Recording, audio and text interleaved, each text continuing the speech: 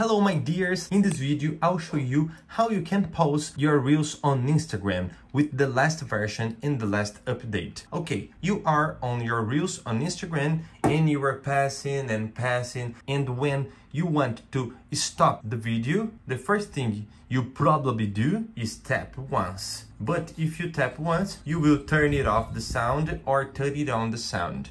Actually, you must hold where you can stop your Instagram Reels, like this. Hold and the Instagram will stop the Reels. But if you want to select an important part of this Reel, you can select inside the Reel, tapping right here and holding and swiping right or swiping left.